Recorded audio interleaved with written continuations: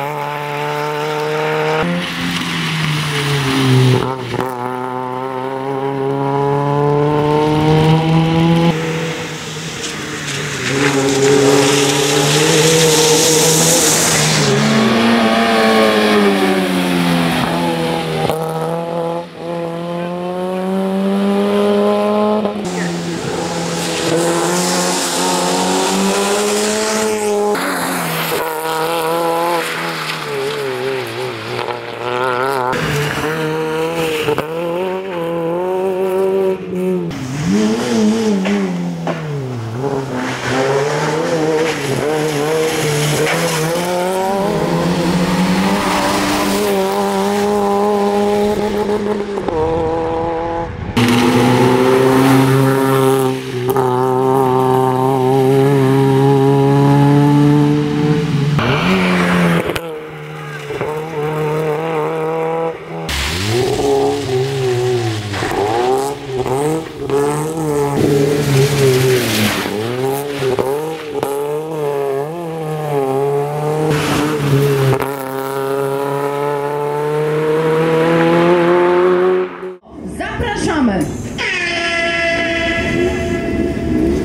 Załoga 136. Zbieżność nazwisk podejrzewam, że nie jest przypadkowa. Myślę, że nie. E, natomiast e, cieszą się, myślę, bardzo proszę przyjąć gratulacje. Ja powiem, co jest... Pan podtrzymuje dalej, tak? Tak, Halo? tak. Dzięki, żona? E, no tak. E, mieliśmy trochę problemy z samochodem, e, bo myśleliśmy w ogóle, że nas tutaj nie będzie, bo zaczął się po prostu gotować. No, ale na drugim momencie uznaliśmy, że jedziemy dalej. Widzimy, co będzie po Siezamarskiej, no i udało się ukończyć to w ogóle. Jest Czyli sam się naprawił. Tak, no to jest genialne. No te samochody Sam są się po prostu jedyne, niepowtarzalne. Cieszymy się razem z Wami i, i za to Was kocham. Naprawdę cieszę się bardzo. Wielkie brawa. Zarówno dla załogi z połówką technicznych. w szkole. Naprawdę. Cudowna.